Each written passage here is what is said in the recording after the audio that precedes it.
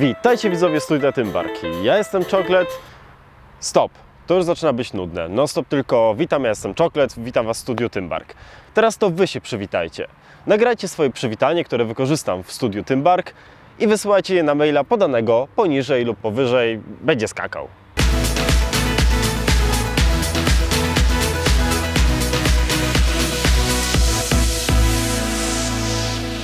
Czy gry online są lepsze od rzeczywistości? Bitch please, zobacz, czy to wygląda na nudę?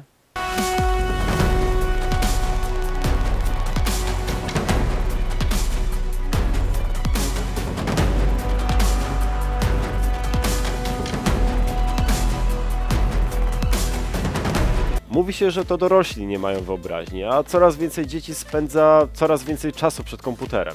Gdzie się podziały te czasy, kiedy to tylko dorośli siedzieli w domu, bo kompletnie nie mieli wyobraźni i nie wiedzieli, że można się tak bawić na zewnątrz? Wystarczy odrobinę. Zapytacie się czego? Wyobraźni. A kto ma najbujniejszą wyobraźnię? Dzieci. Wyobraźcie sobie coś takiego.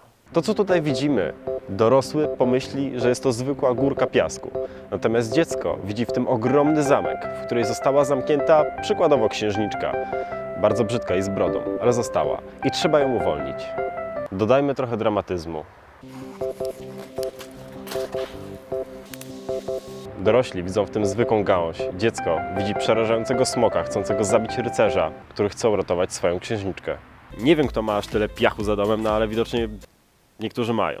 Jeżeli nie macie aż takiej piaskownicy, jaką ja mam, użyjcie wyobraźni, bądźcie chwilę dziećmi. A jak to było za moich czasów? Jeżeli chodzi o bawienie się na dworze, jeszcze te 10-15 lat temu, kiedy komputery nie były aż tak na porządku dziennym, a z gier królowały głównie GTA i SimCity 2000, wtedy mało kto myślał o tym, aby siedzieć przed komputerem i grać w jakieś gry.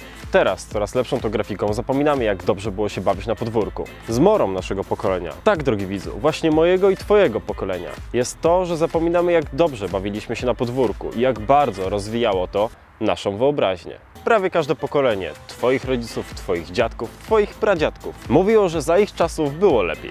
Ciekawi Was może, czy Wy również będziecie tak mówić swoim dzieciom i wnukom? Przenieśmy się tak o 30 lat w przód. Ja, mając już 50 lat, prawdopodobnie już posiadam piękną żonę, dwójkę dzieci i pewnie już na moim koncie jest kilku wnuków. Opowiadam o swoim dzieciństwie. Siedziałem przed konsolą i grałem w Wiedźmina. Czasami wychodziłem ze znajomymi na piwo, ale głównie to jeszcze grałem w Lola. Nagle zalegowała się wasza mama i mnie zabiła. Trochę byłem wkurzony, ale pokochaliśmy się. Siedziałem na plaży, bawiłem się ze znajomymi i budowaliśmy różne rzeczy z piasku i wtedy poznałem waszą mamę. Przyszła i zniszczyła mi zamek, nad którym pracowałem kilka godzin, ale potem się pokochaliśmy. Pod moim ostatnim filmem było ponad 400 komentarzy, co oznacza, że nie wywalą mnie ze studia Tymbark. Zapewne oczekujecie najlepszego komentarza. Oczywiście, proszę bardzo. Brawo, wygrałeś dosłownie nic.